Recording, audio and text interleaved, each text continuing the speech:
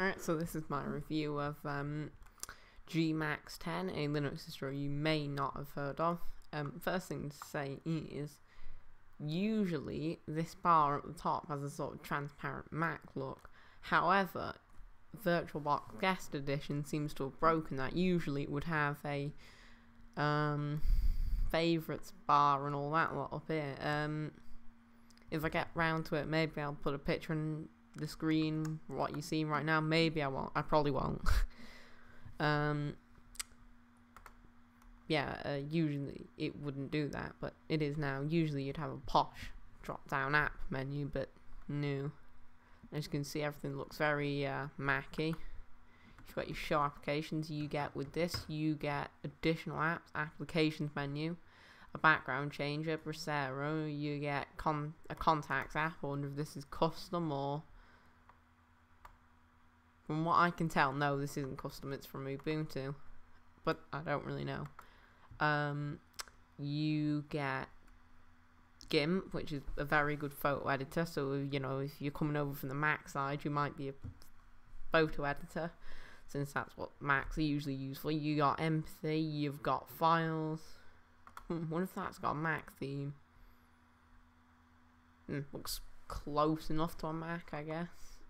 Um, you get Firefox, you get gedit, you get LibreOffice, which is um, good a good alternative to OpenOffice, no, uh, Microsoft Office.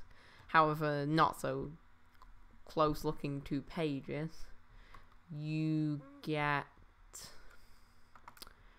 um, maps. I wonder if that's custom. What is it? Why would you need maps on a laptop anyway? That's why I want to know.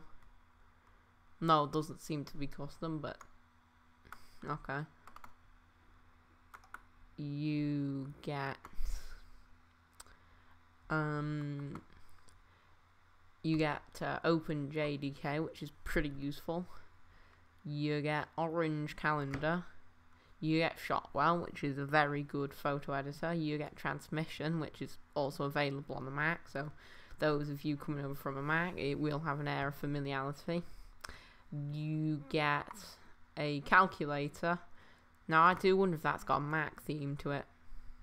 Oh, also the window borders have a Mac theme, but no, the calculator doesn't. Um, you get Docky, which is a very good uh, dock. Now, when I tried this on physical hardware, the dock was crazy small, but I suppose you could make it bigger. Um, the application menu, I believe, is Slingshot. Um, you get uh, oh well, you get a Mac icon theme. You get the Gmac store, which I believe is probably the Ubuntu Software Center, if it's going to open, which is probably not. Yeah, it's the Ubuntu Software Center.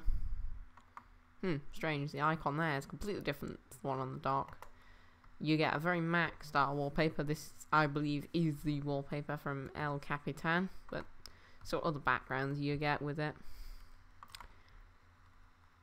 It takes a second to load, but there we go. You got the El Capitan wallpaper. Hmm, strange that they didn't include the default one.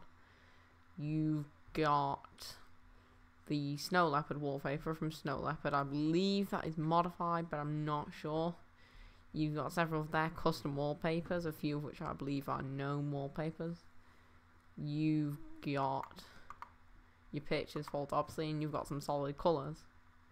Now I personally kind of like the uh, Snow Leopard one, so I'm going to select that one. You can also select your wallpaper from your for you uh, lock screen.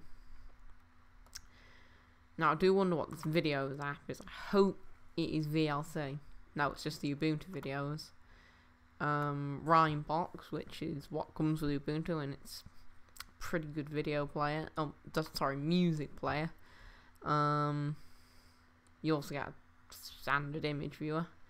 You get um, well, that's pretty much it. You just get a sort of Mac skin. It's essentially all it is. Really, is U well Ubuntu with a Mac skin over it. Uh, usually, I'd say it would have a custom top bar, but it seems not to. Um, see what we can do with. Oh, it uses the glass theme. Let's see if you've got anything closer to Mac. You got classic theme. That's what you're into. You've got air. You've got the glass theme, which is the default one. You've got grayscale. You've got HUD. You've got a very Mac style one, which I don't know why they didn't apply that by default, but whatever. You've got uh, other Mac styles. You've got matte. You've got smoke and you've got transparent. Now, personally, I kind of like the Mac uh, one, so I'm going to keep that one there. Um, strangely enough, the applications icon is from uh, Mavericks lower, whereas the rest of the icons seem to be from Yosemite. Hmm. Hopefully they release that and or fix that in Gmac 10.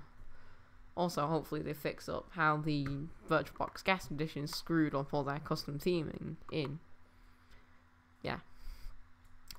Um, I believe from memory the terminal had a kind of Mac look to it, but I don't remember exactly. Um, tell you what, let's just click on it from the side panel. I mean, yeah, it looks kind of like the Mac terminal, but nah, sort of. Um, you have got, well, see if all, yeah, basically all your Linux commands will work. Okay. Um. Now I'm guessing the biggest alternative to this would probably be Elementary OS, but I'd probably recommend this, being that um, it's got a more Mac look to it for one, and it's more intuitive with obviously you've got all your buttons instead of just one or two. Um, also, it looks closer to what you might be used to on a newer Mac, so you know, it's either or really. You could go with this or you could go with elementary. Now, um, obviously you'll have to try it for yourself because obviously VirtualBox broken the top menu. Um,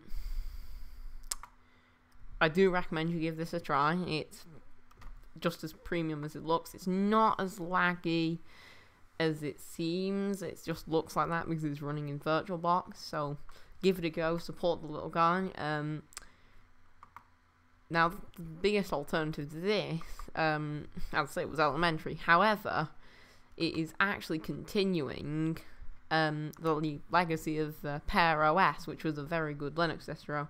Is this as good as Pear OS? Not really. No. But it's getting close. So uh, that's my review of Gmac 10. Give it a go.